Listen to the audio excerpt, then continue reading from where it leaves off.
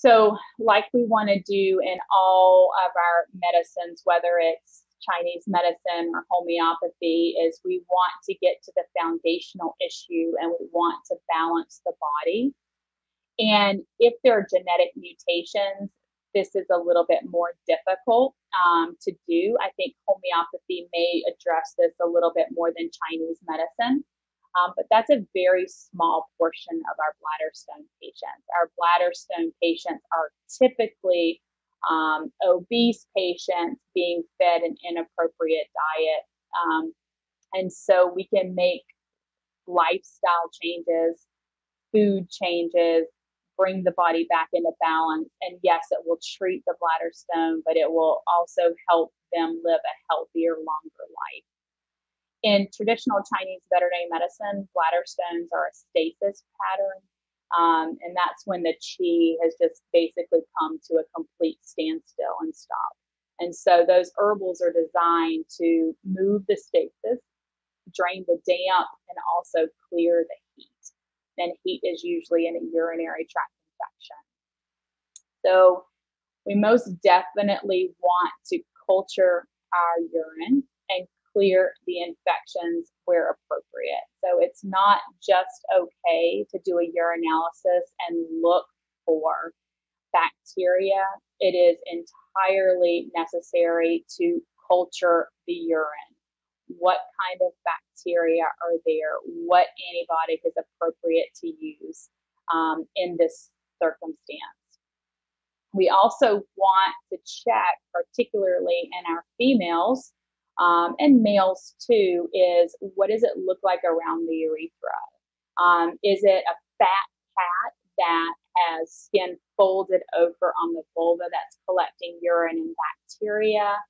Is it a dog with a prepuce that has nasty infection up inside of it?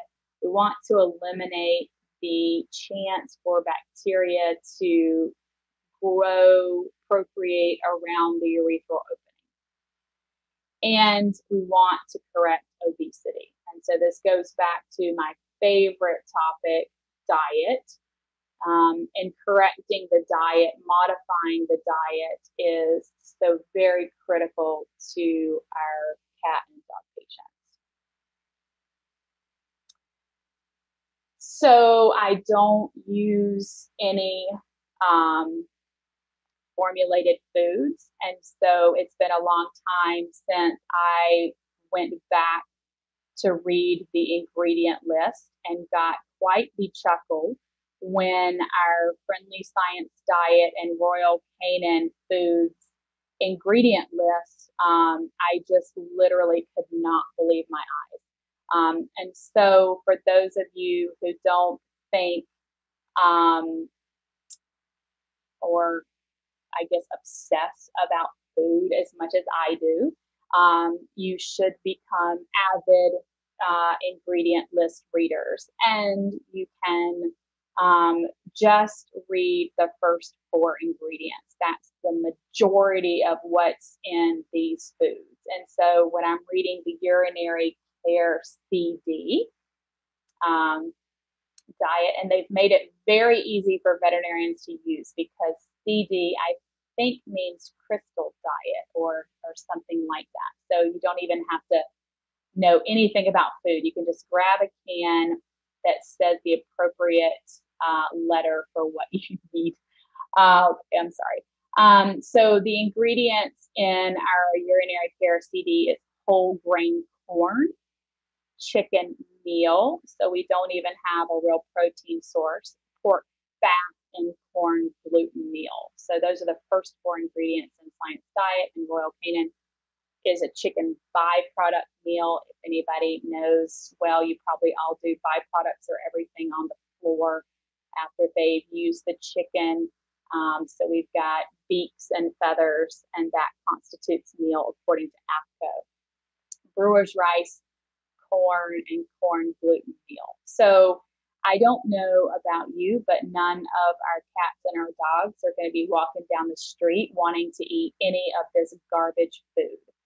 But to the one, I guess, positive thing I can say about the formulations of the garbage food is that they have created something that goes into the body and creates the urine pH that's desired. So it can be very, um, e- it's easier for veterinarians, particularly new veterinarians, to just grab this food because they're going to get the urine pH into the right um, into the right range. And you know, when we do it our way, um, it can be a little bit trickier um, to do that, and it takes a little bit more monitoring and a little bit more grit from the owners. But in the end, it's it's so much more rewarding. So we're going to talk to the owners about feeding a whole food diet. Again, I spend the majority of my time at Florida Wild talking about whole food diets. Um, we want to increase the water content in the food. And even if you have a dog or a cat that the owner says drinks tons of water, actually let's make sure that their intake of water is great by measuring the specific gravity. So we want to see it pretty low less than 10, 20 for a cat is is remarkable. Um, for kitty cats, our urine specific gravity is typically about 1050, and even that is too high. It's causing the kidneys to work too hard, and so they're not getting enough water. Even if they drink water out of a water fountain, the problem is the food does not have enough water content. And so we need to make sure that our cats are getting plenty of water in their food. And so if you're making a whole food diet or you're feeding a raw diet out, even my my cats all get soup. So they basically from kittens have learned to eat um, a whole food soup diet, and that that tends to be um, the best thing for them to get their urine specific gravity lower. So again, we're going to feed whole food whenever possible, and there are definitely owners who can't do that, and so even you know, those owners, I still want them to do some whole food. Give these pets something whole that hasn't been processed. And when you feed whole food, you have miraculously decreased the caloric intake. Um, and so you're almost always, not always, but most always going to see weight loss when you transition them from a high carb, calorie dense dry food to a whole food diet. Um, with their calcium oxalate patients, these patients are a little bit trickier because their body is designed to have an increase in calcium. And these guys are very, um, these guys must must have diet modifications as well, um, but they're just we're not as um, free in our um, making of the diet. So very strict with lowering the carbs. Um, they need a really high protein diet. So we can utilize our whole foods to bring the urine pH into appropriate range. So we want to shoot for around seven and a half for calcium oxalate and six and a half for struvite. And so protein is going to acidify the urine. So the protein is going to drop the urine pH, and then veggies are going to increase the urine pH. And so we can use those um, with trying to maintain our pH for these patients. So here's some other fun things that we, um, I, I, definitely want to touch on. Um, and these are things that we are just starting to use in the last three to four years. And so where I'd love to give you much more information, stay tuned because we're still working on them. So our SanaWave therapy, I'm not sure, Dr. Jeff, have you guys had a lecture on SanaWave therapy? Yeah. We we we talked about it. Um, not sure. Um, no, no, we haven't done an exclusive one, but people have talked. We have talked about it. That's one we should definitely do. So SanaWave is um, the late great Dr. Um, Al Nunez from Integrative Veterinary Hospital in Florida. Um, he and I got together a few years ago. He passed in January of 2020.